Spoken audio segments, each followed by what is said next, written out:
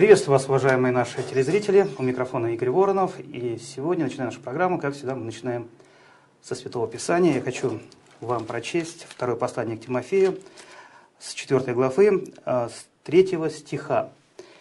«Ибо будет время, когда здравого учения принимать не будут, и по своим прихотям будут избирать себе учителей, которые льстили бы слуху и от истины отвратят слух и обратятся к басням. Но ты будь бдителен во всем, переноси скорби, совершай дело благовестника, исполняй служение твое. Вот на этих стихах я хочу начать нашу программу, уважаемые наши телезрители. И, конечно же, сегодня тема у нас будет непростая, очень сложная тема, а именно пришествие Антихриста и готовность церкви к этому пришествию. Сегодня у нас в гостях пастор из Санкт-Петербурга Игорь Цыба. Игорь, приветствуем вас в нашей радиостудии, телевизионной студии тоже. И мой к вам вопрос, вот сразу касаясь нашей темы. А, конечно, звучит очень так это грозно, страшно, наверное, в какой-то степени. Но все-таки вот сегодняшняя жизнь показывает, что больше и больше люди отвращаются сегодня от слов истины, от Писания, и больше склоняются к тому, чтобы э, слушать какие-то вот рассказы, э, сновидения чьи-то, и как-то вот склонны к этому э, вот обращаться, верить в это. Вот ваше отношение к тому, что сегодня происходит в христианском мире? Ну, конечно же, отношение мое достаточно непростое. А вообще, если мы говорим о теме Антихриста, хотелось бы все-таки в самом начале передачи определиться в терминах.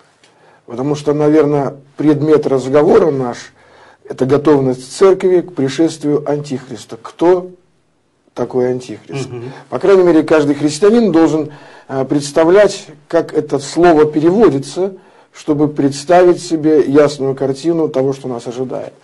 Э, совсем недавно мы праздновали Пасху, и это замечательный день, я рад, что мог быть в Америке в это время. И вот интересно, что в первое воскресенье после Пасхи в церковной истории, то есть это от начала самого, от первых веков церкви, первое воскресенье после Пасхи носит очень необычное, на наш взгляд, название – антипасха. Казалось бы, почему такое название антипасха? Ведь в нашем разуме, в нашем представлении анти означает против. Но есть некое другое объяснение. Дело в том, что мы помним, что в это воскресенье, точнее следующее воскресенье после Пасхи, было особое явление Христа перед апостолом Фомой. И этот день, вот это воскресенье в церковной истории называется также праздником обновления, обновления веры. И вдруг как же так? Вот обновление веры, веры Фомы в данном случае, и антипасха. Ну почему же? Вот такие два, казалось бы, несовместимые явления. А очень просто.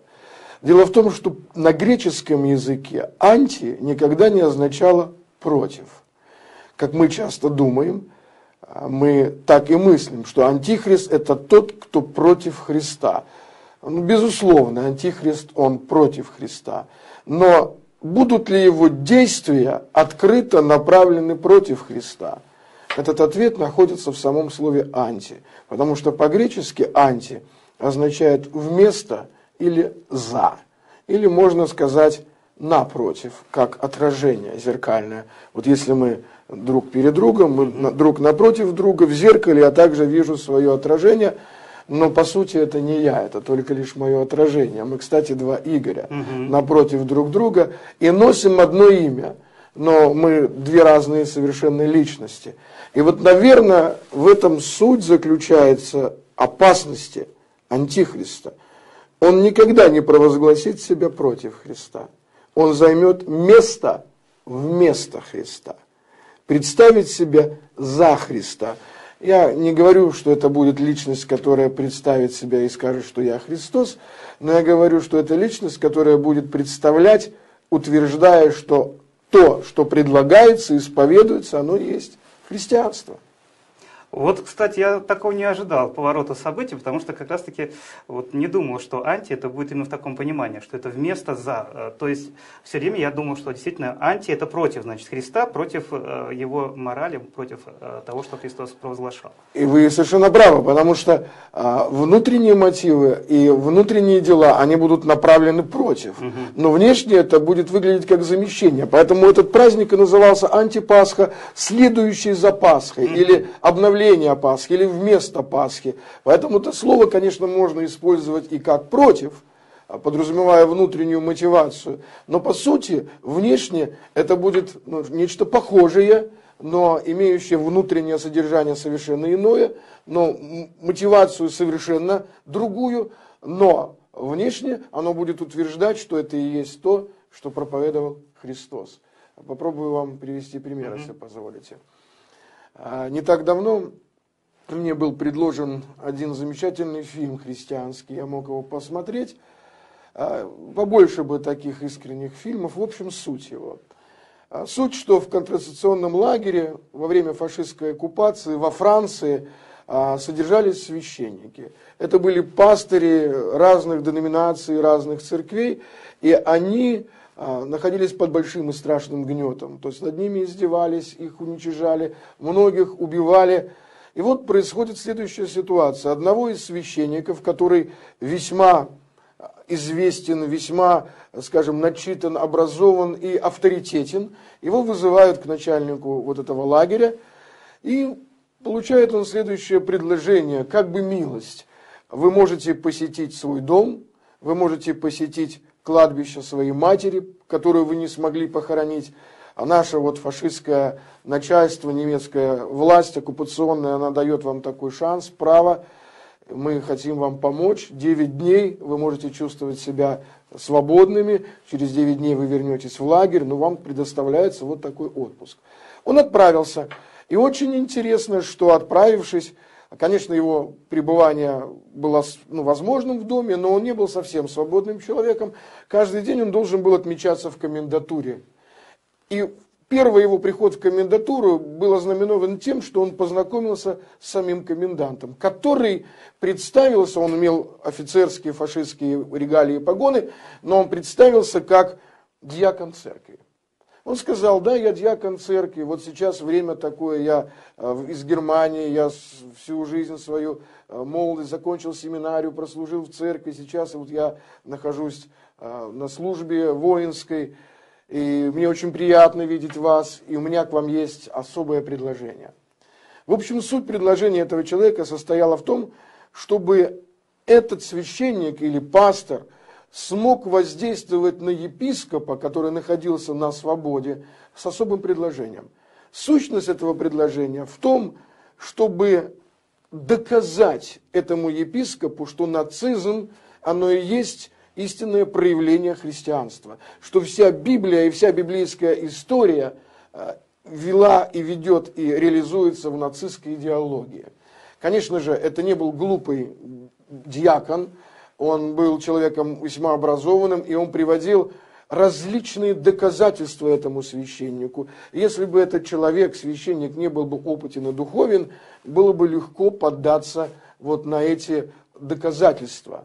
В общем-то, от него только и требовалось, докажи, подействуй на епископа, внеси в него эту мысль, мы тебе дадим невероятные свободы. Представь, говорил этот нацист, это даст возможность христианской идеологии не потеряться на фоне фашистского режима. Это даст возможность подняться христианству. Вы получите то, о чем молились и вы сами, и ваши отцы, о миссии в России коммунистической России, вы сможете миссионерствовать, вы сможете пойти дальше на миссионерских полях. И все это будет возможно. Тебе нужно только лишь воздействовать на епископа. Более того, я обещаю тебе, сказал он, все пастыри, которые находятся в лагере, должны и будут отпущены, если ты поможешь нам.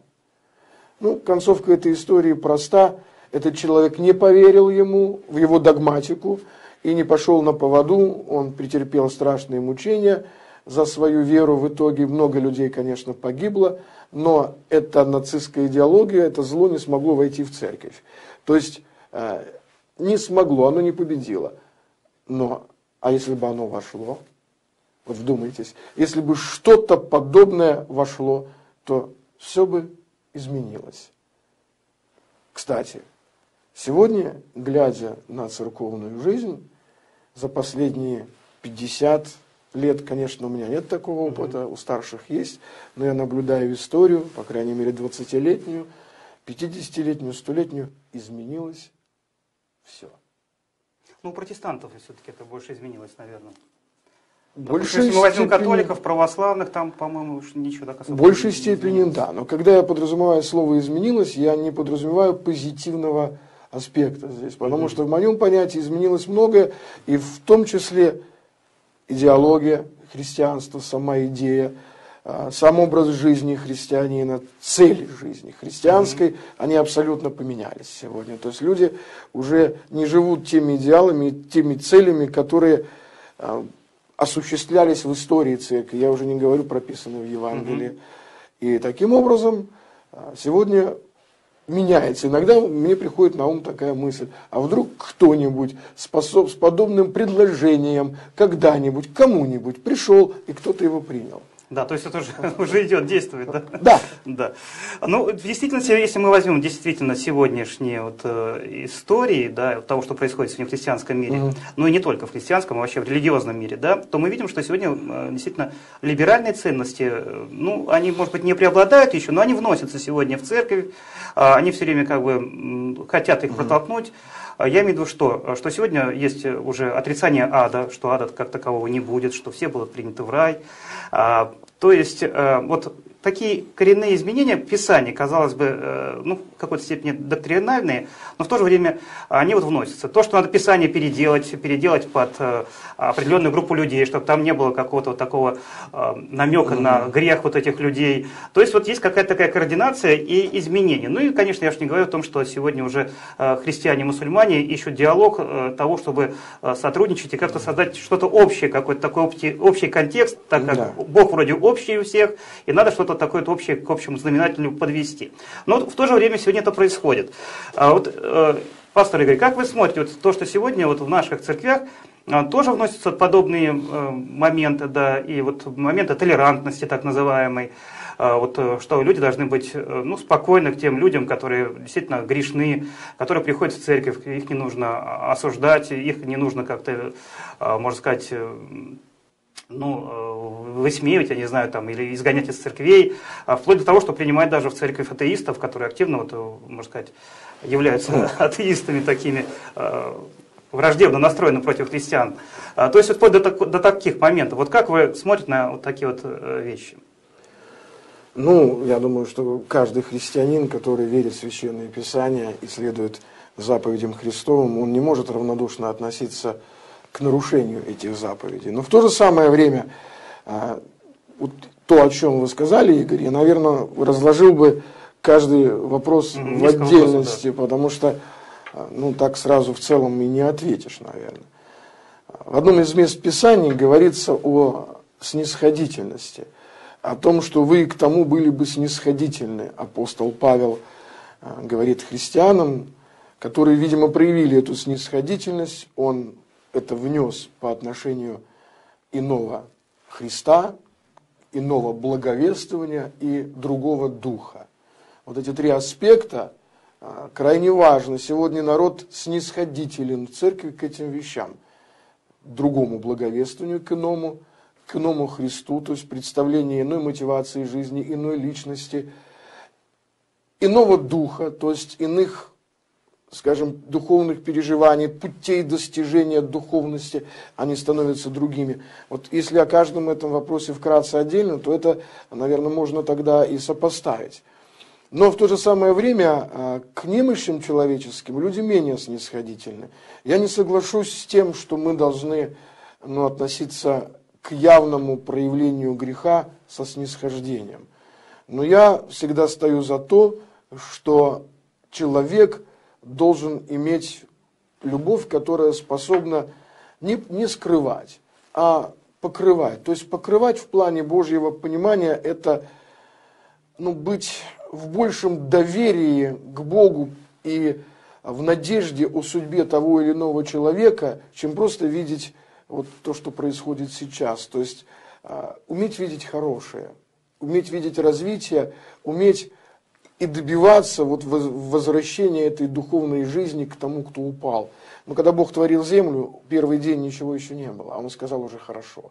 Мы бы так не сказали, ну, следуя нашей психологии. Мы не всегда видим в людях готовность. Иногда, приходя в церковь, мы ожидаем от людей того, чтобы они полностью были а, трансформированы.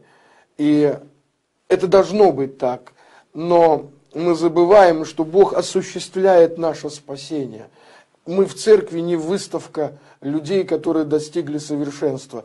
Мы люди, которые излечиваются от сути своей главной болезни, греха, то есть болезни человечества. В этой степени и стадии мы все равны. Конечно, есть а, те, кто бунтуют и не принимают лекарства божественного, не отвечая своей воле, и они сами себя отрезают от Божьей благодати.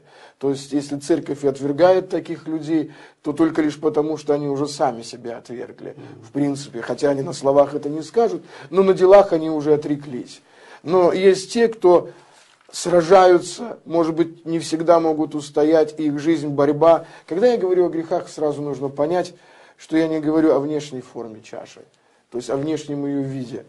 Это часто люди воспринимают. Почему-то среди а, наших евангельских церквей понятие греха сразу предписывают, там, как один сказал, наркоманил, курил и алкоголил. Такая интересная фраза.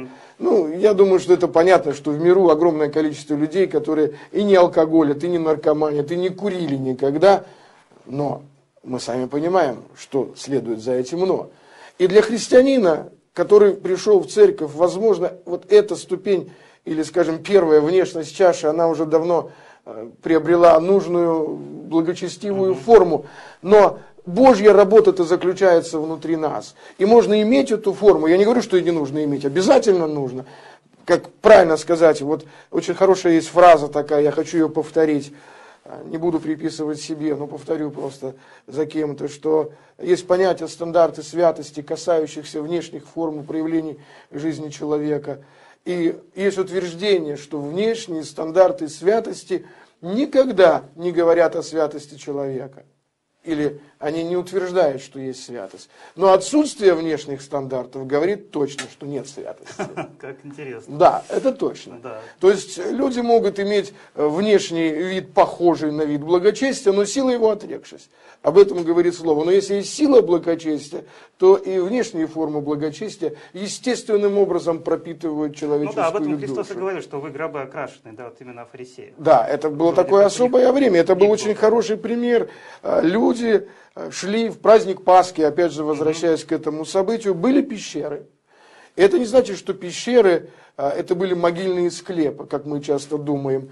Хотя пещеры именно использовались для захоронений. Были пещеры, в них забредали животные, умирали, кладбища животных. В них попадали путники, умирали. Дело в том, что те могилы, в которых действительно хоронили, их охраняли, они закрывались в них зайти вот так просто, ну, камень был отвален на могиле Христа. Это общие обычаи. Никто не мог надругаться над могилой, чтобы вот так вот бросить ее.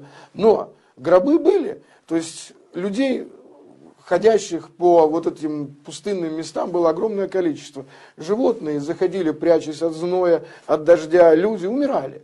И суть была в том, что человек, идущий на пасхальный праздник, переживая ночь, мог зайти в эту пещеру и столкнуться случайно с останками человека или животного. Что происходило? Он осквернялся.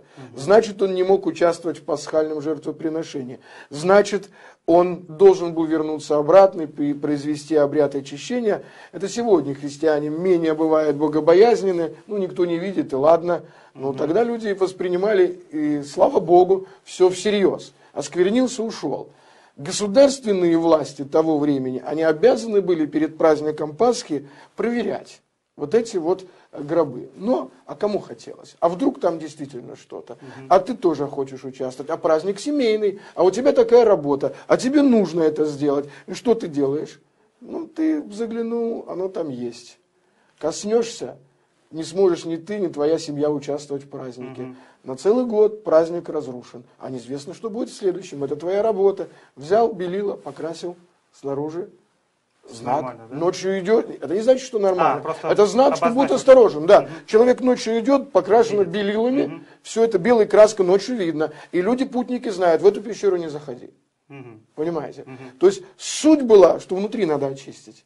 А внутри было некогда, незачем. Гробокрашенное понятие. да, вот оттуда, вот такая мысль. И, и вот в этом, наверное, проблема и сегодня у нас.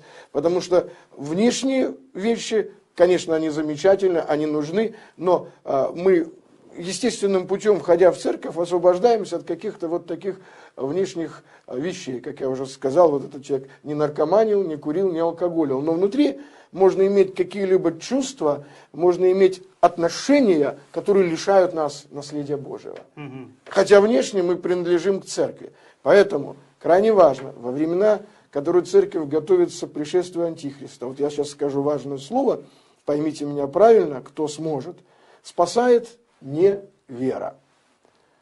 Не религия. Не вера, а качество веры. А, качество веры. Да. Вы спасает не просто вера, веры. а качество веры. Мгм. И вот в этом большая разница.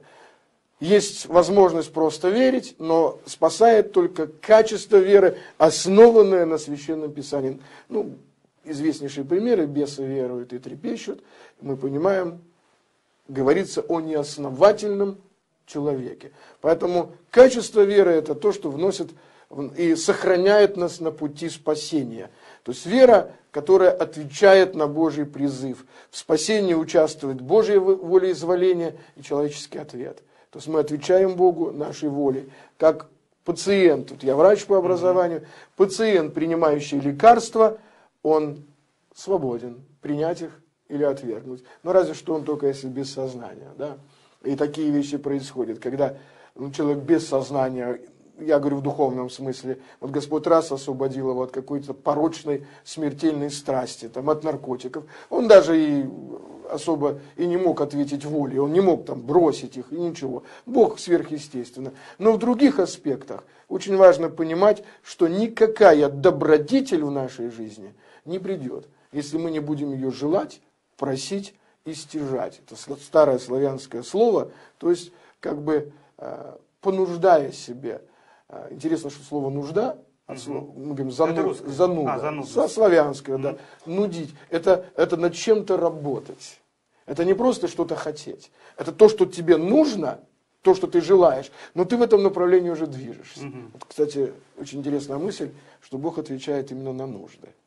Да. Но на то, что на человек нудит, Да, да, да. да, ну да. это вообще-то интересно. Это интересно, Ну, есть много интересных. Давайте вот э, коснемся Верно. таких моментов, да, о которых мы сейчас вот э, Да. говорили, кстати, пастор Игорь, да.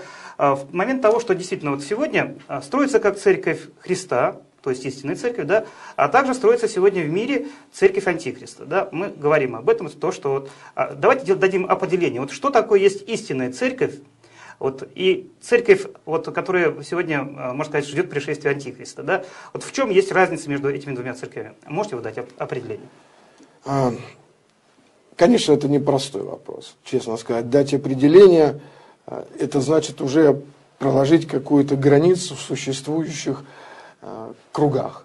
Я думаю, что поскольку и христианство – это дух Христов, ибо сказано, кто духа Христова не имеет, тот и не его. Я думаю, что и а, то, что мы говорим об антихристе, оно тоже сопряжено с духом. Дух – это то, что направляет наши чувства, наши желания, то, что формирует наш внутренний образ и подобие, мировоззрение, можно сказать так. Это та мотивация, те, скажем, пути достижения цели, которые мы а, стараемся в своей жизни достигнуть, те цели, которые мы ставим, они сопряжены с нашим духом, то есть что владеет нами. И это не ограничено деноминационной структурой. То есть вот это влияние, оно оказано на церковь и в том, и в другом, а, скажем, направлении. А, Одну мысль могу лишь сказать по этому поводу. Конечно, все понимают, что были годы, когда тяжкие гонения в Советском Союзе разрушали церковь. Это были годы гонений. Многие а, люди, старцы, они вспоминают со слезами, с болью о тех страданиях, которые им пришлось пережить. А мы, слушая об этом, складываем в свое сердце этот опыт. Может быть, и благодаря Бога, когда по плоти нам легче служить Ему и не испытывать таких мучений. Иногда переживая, что в нашей жизни мы, и может быть, и такой, такого блага, и такой награды лишены. Но мысль моя в другом сейчас. Гонение никогда не приходит только в одном месте. Если дьявол начинает какие-то вот акции, он начинает их повсеместно. И в то же самое время, когда гонения были в России, может быть, это прозвучит очень необычно, я думаю, что гонения были и в Америке. Объясню. В России был один вид гонений избран. Что такое суть? Власть существующая, демонические силы или дьявол, как мы называем, стараясь через существующие структуры властные внедрить цели мировоззрения, образ жизни, мотивацию его, чтобы строить свое царство. Это однозначно понятно. Кто стоит на пути этого? Конечно же, Церковь Христа. Значит, что нужно сделать? Уничтожить ее. Это одна сторона. В обществе, где нет демократии. В обществе, где есть демократия, можно сделать то же самое, изменив ценности церкви изнутри. И все. Это те же самые гонения без тюрем, без заключения, без мучений, просто внедрение других ценностей. Это есть подготовка к пришествию Антихриста в отрицательном ключе. И сегодня внедрение иных ценностей в церковь можно наблюдать. Я вам, угу. если захотите, приведу пример. Хотелось бы. Хотелось бы. А, очень много сегодня в церкви используется, конечно же, психология. В каком плане? Психологических тренингов, учений. Э, в общем-то, психе, душа, ничего в этом плохого нет. Потому что мы состоим из души, у нас есть психика, и она должна работать как часы, мы говорим, да, то есть выверенный механизм. Но я уверен, что существует библейская психология, существует и мирская, понятно. Тем более в мирской психологии есть немало школ. Допустим, всем известна школа Фрейда, Зигмунда Фрейда, построенная на сексуальности человека.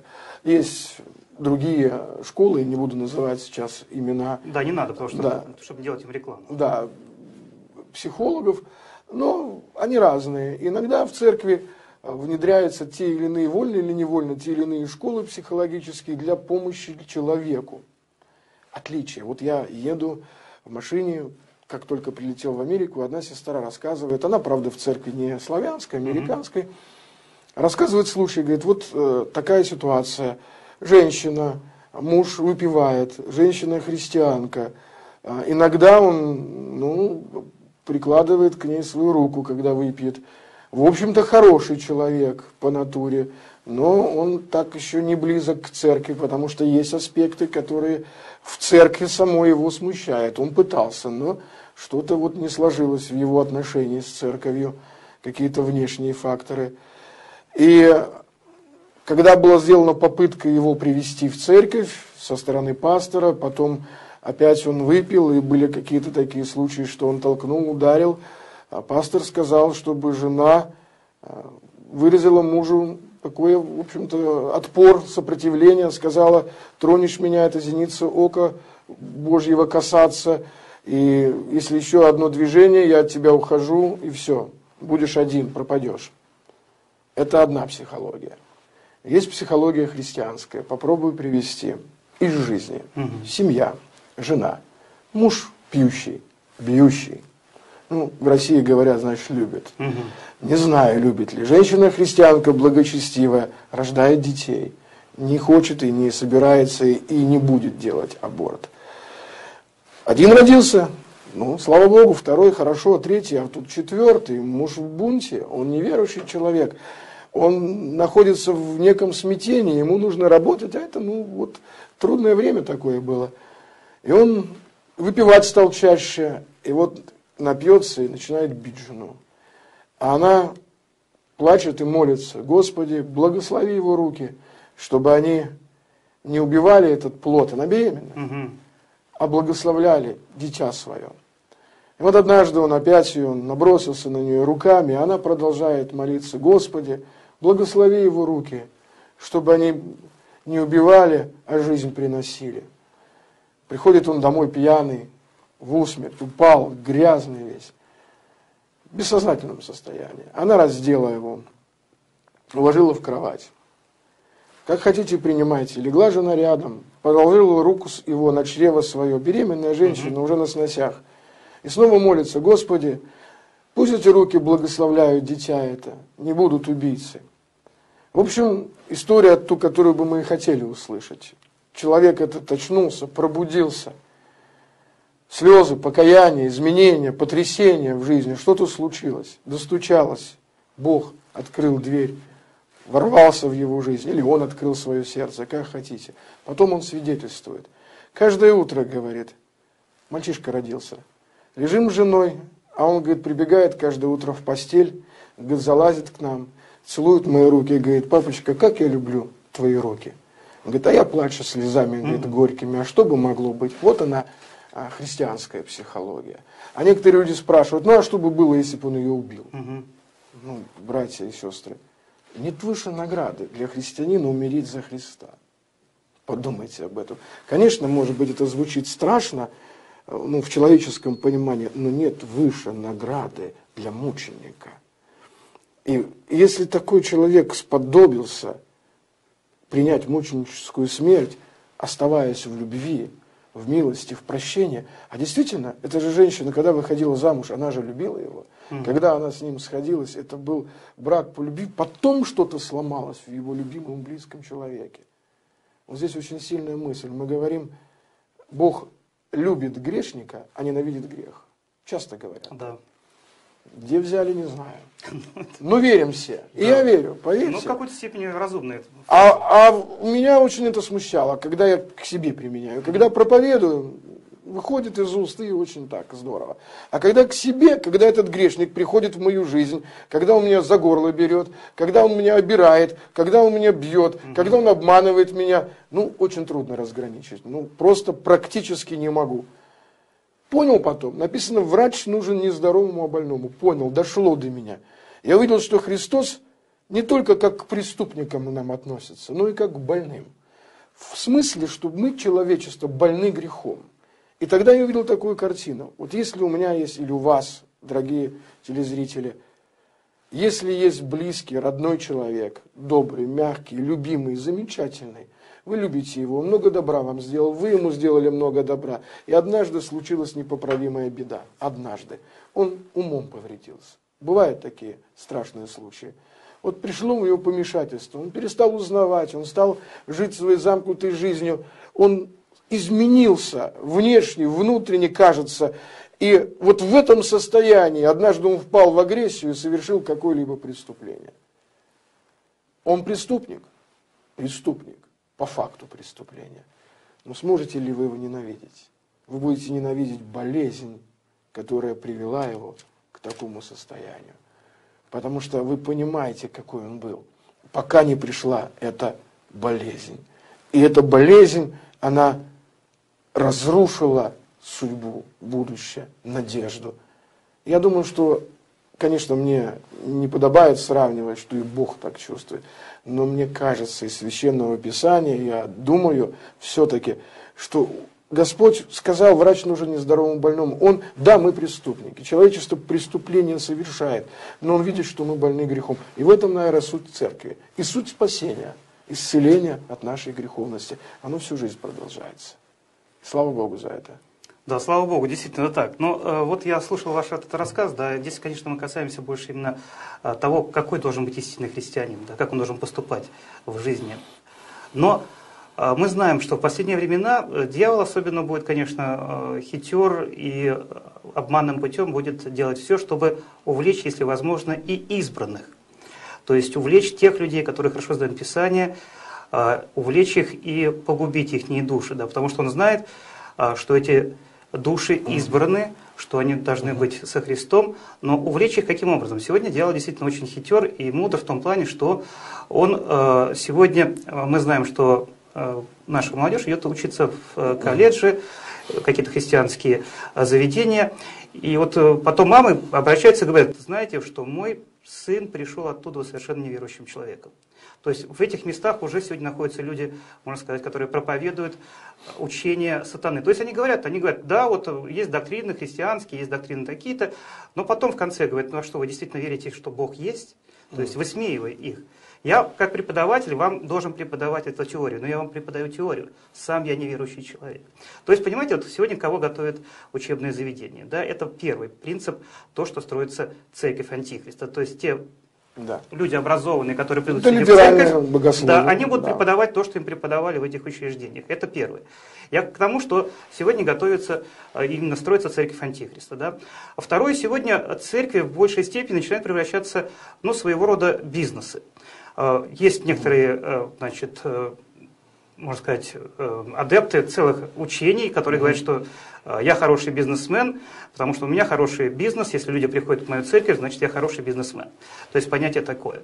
Он строит церковь по принципу бизнес, значит я должен веселить людей, публику, то есть это своего рода такое место, куда они приходят веселиться или должны получить что-то такое. Хлеба и зрелищ. Да, хлеба и зрелищ. И здесь вот тоже, это второй принцип того, что строится церковь Антихриста. Третий принцип, ну, 10 принципов я просто не буду их перечислять. По, да, они, по, понятны. Они, они понятны, я думаю, что все мы. И все знают, кто знает учение, Библию, те понимают, что там, где не соответствует учению Библии, то есть это учение благополучия, так называемое, да, это учение того, что э, чем больше прыгаешь, чем больше слов говоришь «славлю, славлю Бога, славлю, славлю Отче», значит, ты тем самым прославляешь Бога. Здесь в церкви, значит, побольше слов произнеси, получше попрыгай, поистязай себя, и тебе все простится. Но это подобно тому, как было и раньше, э, помните эти самые люди, которые бичевали себя хлыстами, холсты, да? Они себя сраспинали со Христом, били себя да, э, да. по плечам и так далее. То есть вот сегодня такие Но учения... это все-таки было лучше, чем просто прыгать. Ну да, Они все-таки все приносили было, да. себе какой-то ущерб и, э, наверное, справлялись. Если у него было вожделение, то эта боль, наверное, побеждала то вожделение. Он на какое-то время мог отвлечься. А тут вот да, но я Другая. почему это говорю, что потому что вот мы говорим сегодня у нас тема того, что да, я понимаю. Э, крестьяне готовятся не к пришествию Христова, а к пришествию Антихриста. То есть здесь готовится церковь, которая будет провозглашать, э, казалось бы, Христа, да, но вместо Христа, именно другого Христа. Да? Э, очень это тонкая грань, которую вы определили в начале. То есть для человека, который не особенно, не особенно знает Писание, он эту грань, конечно, не заметит, он ее не определит. Вот сегодня то, что происходит э, сегодня, я не знаю, у нас была до, до этого передача, да, одна, один э, наш гость тоже, который был из Болгарии, он сказал, что этих людей я даже не могу назвать братьями и не могу назвать их церковью, потому что они ведут всех людей э, к погибели, потому что они провозглашают не то, что, чему учит учение, Писание, то есть они извращают Писание, по сути. Вот что вы бы сказали бы вот нашим слушателям, которые, может быть, сегодня умом понимают это, да, но уйти оттуда не могут, потому что ну, им там нравится, можно сказать. Или, может быть, что-то да. их там держит. Первое, что бы мне хотелось сказать, что в это время очень важно не обмануть ни себя, ни тех, кто рядом с тобой. Очень важно не обмануться. Не обмануться в своем понимании о Боге. И, конечно, я не приношу сейчас доктринальное понимание, но нам нельзя составить образ Бога такого, которого не существует. Как Израиль в свое время э, создал тельца и сказал, вот Иегова, вот Господь, который и вывел нас из Египта. Да, имя правильно, он и вывел, но выглядит вон он так. То есть он обладает совсем другими, может быть, свойствами, чем истинный Бог, который есть Дух. Конечно, это крайне важно. И не обмануть себя. Очень важно исследовать себя, испытывать себя. Вообще, как написано, простые слова. Верили мы. Наступает особенное время. Написано, что мы, э, вы к тому были бы снисходительны. Иной дух, иное благовествование и другой Иисус. Нам нельзя быть снисходительными сейчас. Нужно действительно провозглашать и какую-то грань пролагать. Это не значит, что мы оскорбляем честных и искренних людей, но по какой-то причине заблудших. Может быть, когда эта грань пролагается, а, их честность и искренность получит Божий ответ. С искренним Бог искренно и поступает. То есть этот может быть момент переломный. Апостол Павел сказал, мы не повреждаем Слово Божьего, мы а, не извращаем, не искажаем. В славянском переводе, или точнее в славянской Библии звучит так, мы не корчмуем. Корчма – это было питейное заведение, которое а, занималась тем, что подавала людям спиртные напитки. В основном в корчму ходили пить алкоголь. И вот корчмарь, человек, который занимался этим, он брал чашу с вином и разбавлял ее водой. Больше, чем это было нужно. Тем самым он делал себе доход, а человек значит, платил деньги больше, чем это стоило. Вы понимаете? То есть были затраты больше. Или же он, видя, наблюдая за ситуацией, подмешивал какие-то зелья, человек выпивал, терял сознание, его обирали. В общем-то, эта картина очень понятная. То есть, когда апостол Павел это принес, сказав, мы не корчмуем, я думаю, что каждый из славянской Библии это хорошо переведено, э, действительно, это важно, чтобы не было корчмования Слова Божьего в церкви. И, конечно же, нужно наблюдать, тот ли Христос, тот ли Дух, нет ли манипуляции человеческой, потому что всякая человеческая манипуляция, она влечет изменение сознания на уровне психики человека. И это не духовные действия сначала, это просто человеческое, гормональное, скажем, которое может быть демонизировано, если человек попадает в обольщение. А манипулятивных действий сегодня может быть много. То есть э, их огромное количество от разных э, способов проповедования, э, таких, скажем, особо экстравагантных, до музыкального давления, вызывающего а, там эйфорию или особые какие-то такие вот чувства, которые часто люди подразумевают под чувством поклонения. Я, конечно, не осуждаю, но, с другой стороны, иногда слышу такие слова. Мы, у нас такое поклонение в церкви, говорят люди. У нас такое поклонение. И меня сама эта фраза удивляет, что в ней неправильно. Кто может измерить поклонение? Можешь ли ты измерить свое поклонение перед Богом, сказать, что вот оно такое. Это все равно, что женщина с волосами, отирающая ноги Иисуса, говорила, я так хорошо это делала сегодня. Угу. Это так получалось у меня здорово, и слезы к месту. Это все равно, что произнести такую фразу, и, конечно же, поклонение не измеряется ни часами, оно вообще не заключается в музыке, вообще. То есть оно никакого отношения к музыке не имеет, хотя музыка, она может вызывать в нас некий или, скажем, даже не вызывать, лучше, когда она нас не вызывает, потому что обычно у пьяного вызывает музыка чувства. Если человек пьян духовно, то звучащая музыка, если она радостна, он начнет веселиться, если грустно, он заплачет тут же. Но у христианина внутри должно быть нечто, если это входит в гармонии, скажем, с тем, что он поет, он вдохновляет это пение, и Божье благословение приходит, и происходят какие-то вещи. Вот, когда апостолы Сила в темнице сидели, они пели тогда, и потряслись двери темницы. Кстати, интересно, признаки, вот, да, вот, угу. неправильно направление. Люди из этого сделали учение такое, что если ты будешь петь, двери все рухнут. Давайте будем громко, сильно славить, благодарить, и все рухнет.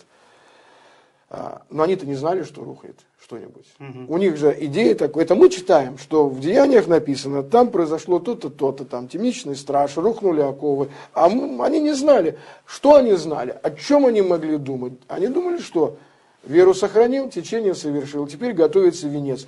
Практически они готовились в этой тюрьме к переходу, к смерти. В душе у них было утверждение, что они исполнили волю Божию, которая им была открыта. Те церкви, которые нужно было насадить, то слово, которое нужно было проповедовать, они насадили и совершили, сделали. И все. И теперь они готовились к переходу. Для них это была радостная вещь. А что может быть лучше, зная, что ты исполнил волю Божию, зная, что тебе нет больше шансов ни отпасть, ни согрешить, ты сейчас уходишь к Господу, да лучше не придумаешь. Они пели, Бог решил по-другому. Я не знаю, может быть, даже в них это некоторую и досаду вызвало, и огорчение, потому что апостол Павел потом скажет, что лучше бы мне было бы разрешиться и быть со Христом. А что я э, здесь, то ради вас, в общем-то. И опять же, смотрите, другая психология, да? Другой подход к жизни. Мы говорим о подготовке. Все, что внешнее воздействует на нас и вызывает в нас какие-то э, чувства эмоциональные, я не говорю, что это вообще невозможно. Истинная жизнь христианина не лишает ни эмоций, ни переживаний, ни чувств. Но Царство Божие внутри нас есть. Мы не должны мы зависеть от внешних обстоятельств. Как только церковь, община формируется от внешнего, от устройства, от убранства, от музыкального воздействия, от стиля какого-либо проповеди или чего-либо, если она формируется от внешнего, и если это внешнее оказывает эмоциональное давление, и только в этом оживает душа человека, это очень опасный путь. Очень опасно. Человек должен достигать своего единения со Христом, он должен достигать своей христианской жизни, чтобы познать, что праведность, мир и радость во Святом Духе, Царствие Божие внутрь вас есть. Так есть или нет? Или оно все-таки внешнее? Пастор Игорь, вы когда сейчас говорите такую интересную историю, да, я что-то уже как-то опередил вас и думаю сейчас про себя. Ну, сейчас ну, да. скажут, они думали, что сейчас что-нибудь рухнет, и вот в ожидании того, они не знали, что рухнет, и вот тут рухнул на них самолет.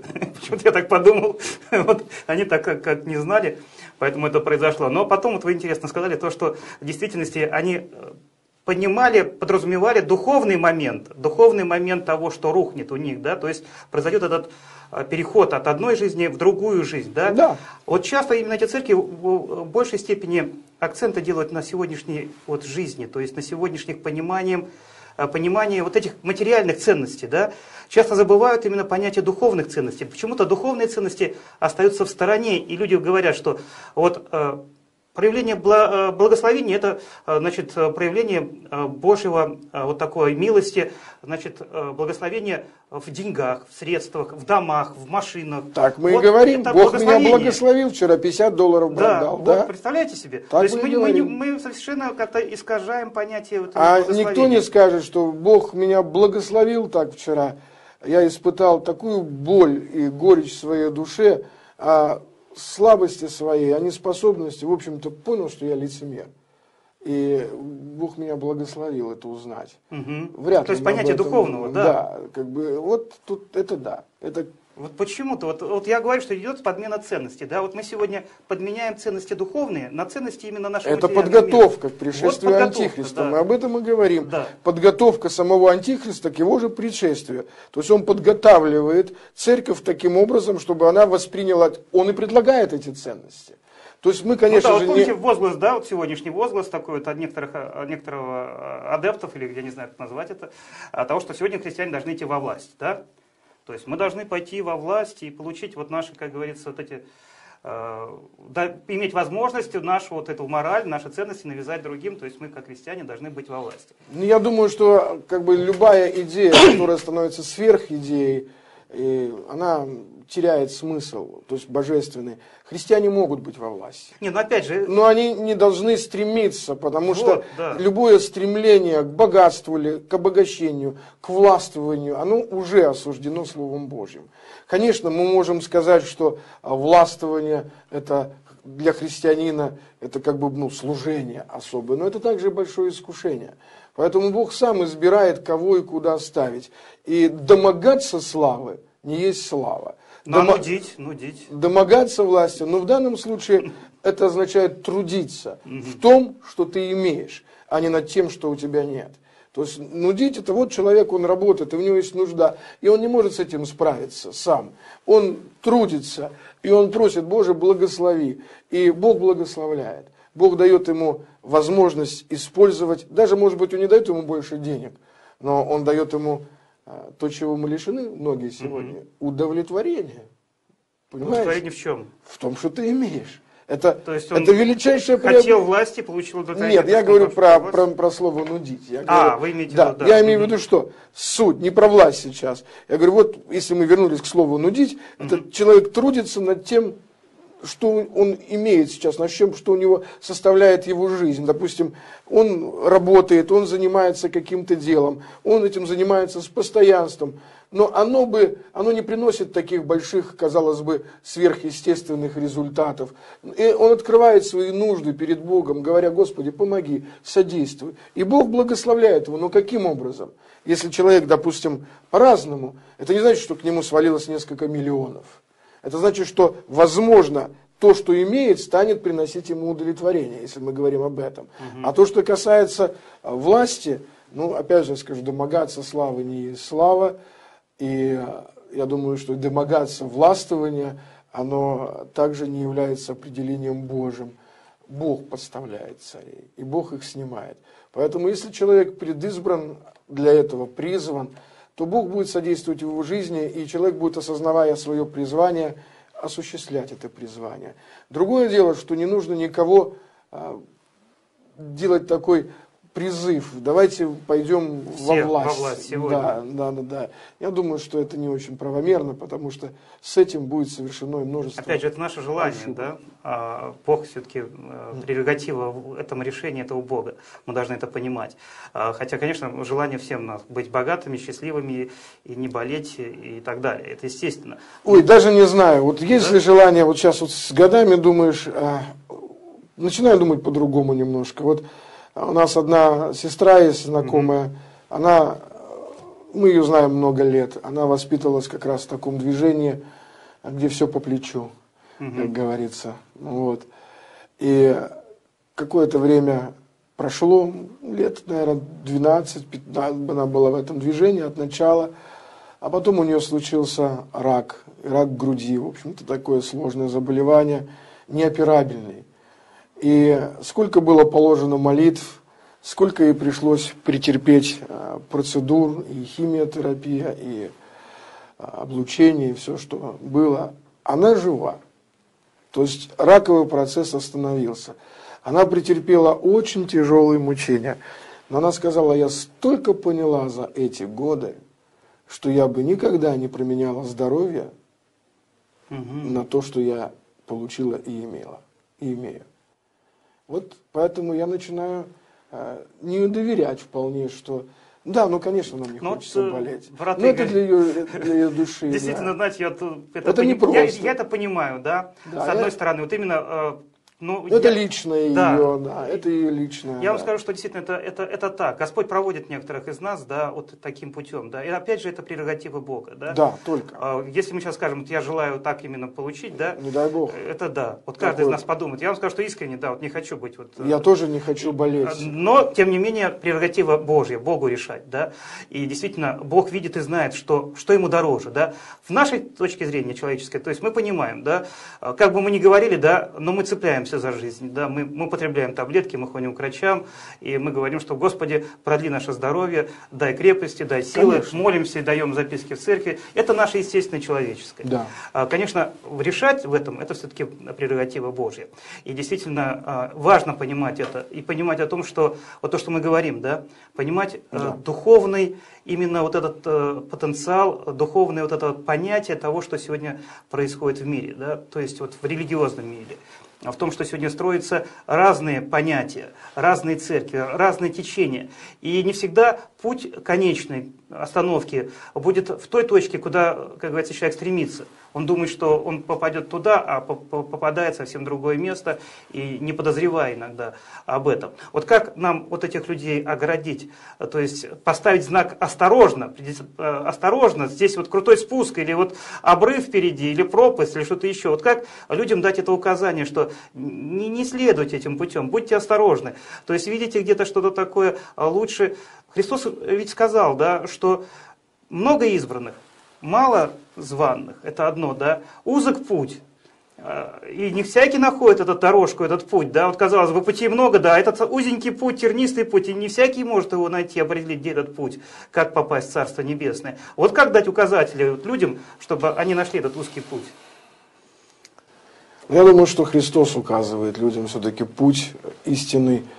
Проповедники обозначают только определенные вехи, дают э, указания, как этот путь искать. Потому что действительно э, христианство, нужно понять, оно абсолютно не технологично. То есть в нем нет того, что мы порой называем каких-то вот пунктов 1, 2, 3. Там, как получить исцеление, как испортить брак или как его восстановить и так далее, а как похудеть в конце концов. Обычно я на четвертом пункте смущаюсь. Да. Но христианство не технологично. В том-то и заключается его суть. Люди хотели царя, чтобы кто-то давал им сверху указания, а Бог предлагал судей, рассуждения. И вот, наверное, и на этот вопрос так однозначно не ответишь, потому что каждому сердцу Бог может найти свой подход. Что же с нашей стороны? Еще древний писатель христианский сказал, спасешься ты, спасутся тысячи вокруг тебя. Подразумевая, что а, если ты в истине, то а, мудр ли кто ли разумен, докажи это на самом деле. То есть добрым поведением, с мудрой кротостью.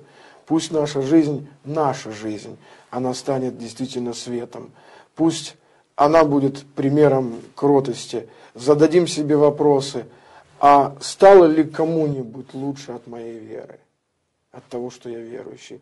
Стало ли кому-то жить легче, вздохнуть свободнее от того, что он рядом со мной? Или же я на него тоже неудобоносимые бремена возложил или предложил ему, скажем. И человек не то, что обещано в Евангелии, покой сердцу, а полное беспокойство обрел, потому что он теперь не знает столько вот а, то ли хлопать, то ли прыгать, то ли скакать, то ли еще что-то делать. И как угодить Богу, и как... Сегодня столько много учений, вы знаете, да, вот а, правильное исповедание, неправильное исповедание. А, я помню, как один из таких преподавателей этой темы в нашей беседе, один из наших гостей сказал такую фразу – слыш, слыша вот эти рассказы, он сказал, ну ничего себе. Тот повернулся к нему и тут же добавил, ты представляешь, что ты сказал? Тут удивлен был, что? Ты себя проклял. Ты сказал ничего себе, себе ничего. Ты заранее обрек себя на неудачу. Братья и сестры, ну, ну неужели мы так думаем о Боге? Неужели мы думаем, даже представляя земного отца, когда его ребенок, ну, предположим, попал в канализационный люк, да, и он кричит, он от боли, он от, он от страдания кричит, а отец стоит в стороне и думает, интересно, действительно ли он имеет достаточно веры в то, что я его вытащу? Ну, представьте. Или вот что-то он неправильно призывает мое имя. Как-то надо, чтобы он исправил эти шаги. Да не может быть так. Движет отцом его любовь. Поэтому, конечно, друзья, у нас очень интересная передача. Но я думаю, самое главное, в чем нам нужно успокоиться – в Божьей любви. Мы в нее уверовали. Пусть Господь благословит, чтобы не обманули себя и никого. Аминь. Благодарю вас, пастор Благодарю Игорь, вас. за то, что вы пришли к нам в студию. Э, пусть Господь вас благословит, чтобы Благодарю. на вашем пути, вот этом служении, действительно как можно больше было спасенных душ, и чтобы ваш труд был во славу Господа. А я возвращаюсь к вам, уважаемые наши телезрители. Хочу сказать, что сегодня у нас была тема неординарная. А мы говорили о том, что церковь сегодня готовится как для встречи Господа нашего Спасителя Иисуса Христа, также готовится другая церковь для встречи Антихриста, церковь, которая готовится встречать Антихриста. То есть мы говорили на эту тему, и я хочу сказать, что имеющие уши слышать, да слышат, что Дух говорит церквям. Будьте осторожны в вашем сегодняшнем направлении служения Господу. Вы думаете, что служите Ему, э, смотрите, чтобы вам не упасть и не служить другому Господину. Э, Господь у нас, оказывается, может быть разным. И как говорил Игорь Цыба сегодня, что понятие антихрист – это не то, что мы понимаем, то есть против Христа, а это, оказывается, вместо Христа. То есть он будет Здесь очень тонкая грань, которую вы должны различать, понимать. Вот это вместо Христа, где Христос, а где вместо Христа. Так что, уважаемые наши телезрители, будьте осторожны. Конечно же, служите Господу искренне, читайте Писание больше, ибо через Писание мы узнаем истинный путь. Вот тот самый узкий путь, которому надлежит нам всем идти. Ибо много званных, но мало избранных. Вот будьте этими самыми избранными, чтобы Господь вас не забыл, и чтобы вы были с Господом. На этом все. Я прощаюсь с вами, желаю Божьих благословений. До встречи в эфире в программе «В какое время?». Вел передачу Игорь Воронов.